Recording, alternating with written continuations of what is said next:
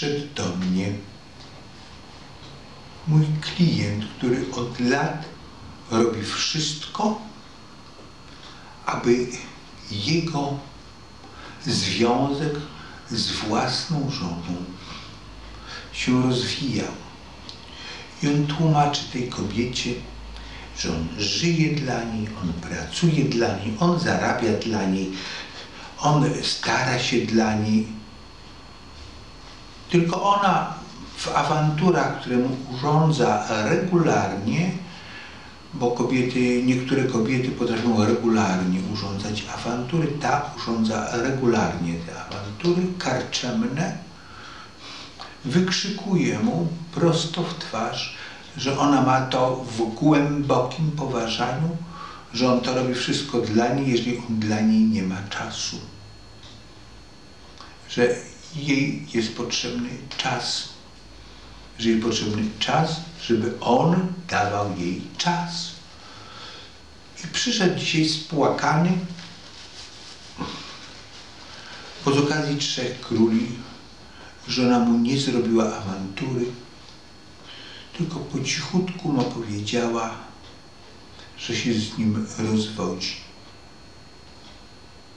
Zapytałem się, jak do tego doszło.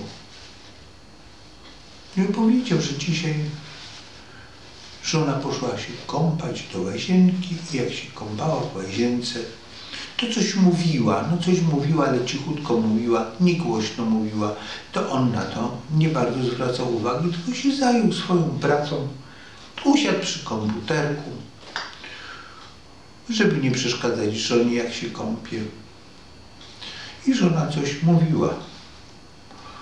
I nie zwrócił na to uwagi zbytnio, no bo czasami się zdarza, że kobieta coś mówi, ale jak mówi coś po cichutku i w łazience, to przecież nie będzie na to zwracał dużej uwagi. Potem w ciszy i spokoju z okazji Trzech Króli poszli do kościółka i w ciszy i spokoju wysłuchali mszy. W ciszy i spokoju wrócili do domciu i w ciszy i spokoju zjedli obiadek przygotowany. Żona coś mówiła do niego, ale on był lekko zamyślony i nie zwrócił uwagi na to, co żona mówił. Natomiast po deserku żona wyszła na spacerek, bez niego sama poszła. No i się krępował, żeby nie przeszkadzać żonie w spacerku i nie zadzwonił do żony przez trzy godziny. Żona wróciła po trzech godzinach i powiedziała mu w ciszy i spokoju wyprowadź się. I przyszedł facet do mnie spłakany, nie rozumiejąc czemu w dniu Trzech Króli, w takie wielkie święto, żona powiedziała mu cicho, spokojnie i stanowczo, wyprowadź się. I kochani, ostrzegam was wszystkich, wszystkich panów ostrzegam na świecie, jeżeli twoja żona na ciebie się złości, krzyczy, drze, to jest to pierwsze ostrzeżenie. Ale ostatnie ostrzeżenie jest wtedy, kiedy Twoja ukochana kobieta mówi do Ciebie cicho i spokojnie.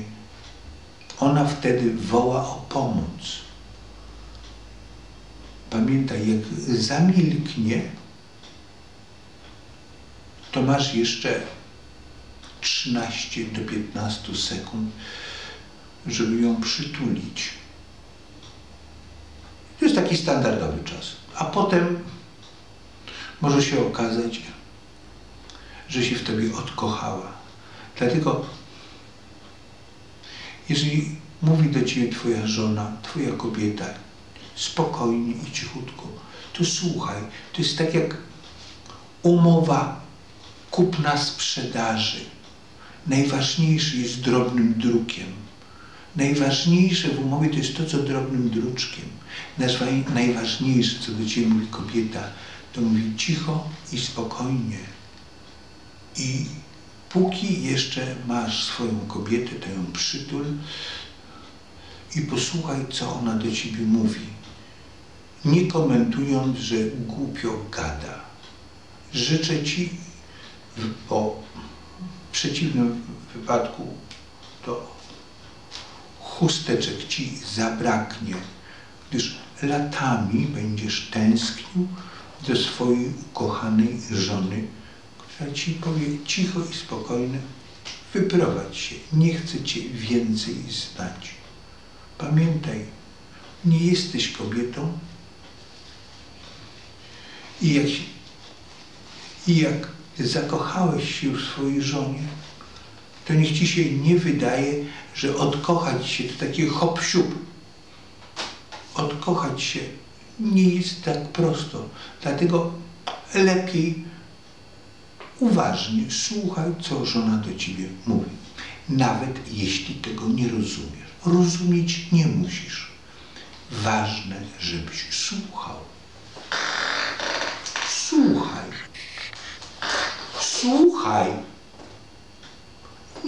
Озерску.